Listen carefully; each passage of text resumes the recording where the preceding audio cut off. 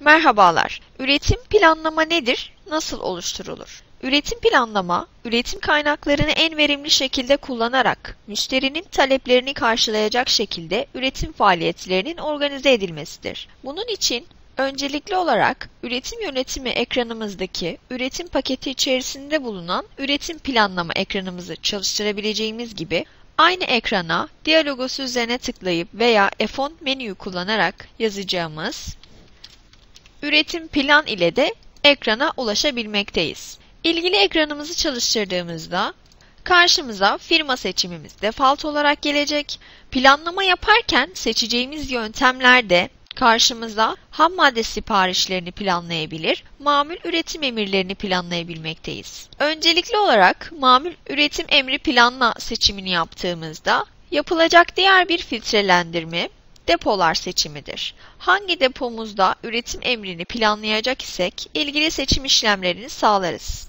Tedarikçi alanına geldiğimizde ise yapılacak olan mamül üretim emrinin belirli tedarikçiler bazında seçimini yapabilir, belirli siparişler bazındaki üretim emirlerini planlayabilir veya stoklar seçerek ilgili stoklar üzerinde üretim emirleri planlayabiliriz. Bu seçimleri boş bırakarak bu tarihler içerisinde sipariş için başlangıç ve bitiş tarihi belirleyerek bu tarihler arasında sipariş vereceğimizi, üretim kısmına baktığımızda ise bu tarihler arasında üretim planlamasının yapılacağı belirtilir. Sipariş durumuna baktığımızda teklif, analiz, kabul ve red şeklindeki siparişleri seçebilir.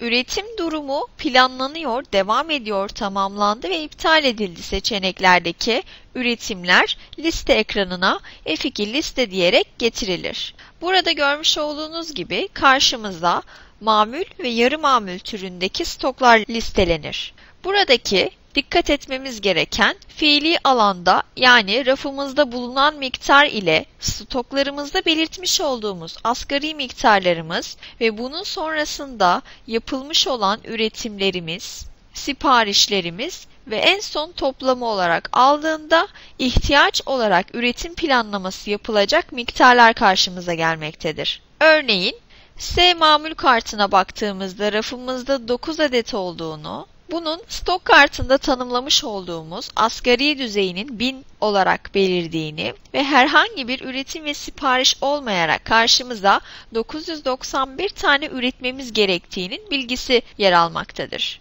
Yani asgari düzeye ilgili alanı tamamlamak için 991 seçeneği gelir. Ya da Bayan gömleği incelediğimizde elimizde 135 tane olduğunun ve herhangi bir asgari miktarının olmadığından dolayı 135 tane elimizde bulunduğunu belirtmektedir. Stoklara asgari miktarların girilmesi planlama yaparken ilgili miktara tamamlaması açısından önemli olabilir.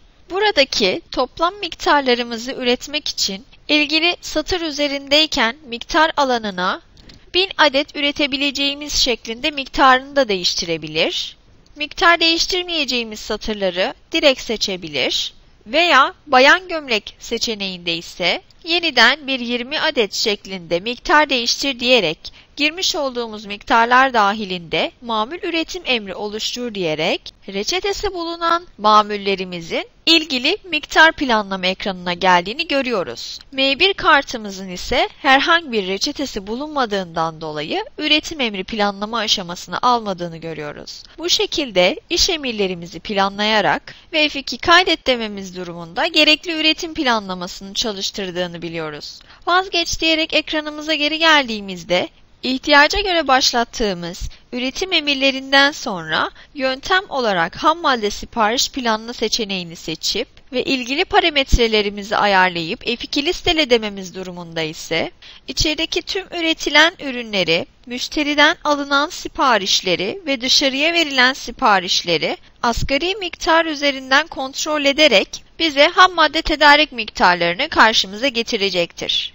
Bir satırı incelediğimizde örneğin H5 ham maddesini incelediğimizde fiili stoğumuzda 4580 adet olduğunu, asgari tutarımızın 1000 adet olduğu ve bunun 250'sinin üretimde harcandığını, bunun sonucunda eksi 3330 diyerek yani elimizde 3330 tane daha mevcut olduğunu ve bunun için herhangi bir plan yapmamamız gerektiğini biliyoruz. Bir diğer stoğumuzu incelediğimizde ise örneğin H9 ham maddesinde 800 adet miktarımızın bulunduğunu, bunun asgari miktarının 1000 olması gerektiğini ve 200 tane daha sipariş oluşturmamız gerektiğinin bilgisi karşımıza gelir. Burada da aynı şekilde miktarlarımızı 200 olarak değil de 400 birim olarak miktarını değiştirerek veya başka diğer satırlarımızı seçim işlemini sağlayarak ham madde siparişi oluştur dediğimizde bizi sipariş ekranına atacak. Burada cari seçimimizi yaparak bir verilen sipariş türünde siparişimizi oluşturacağız.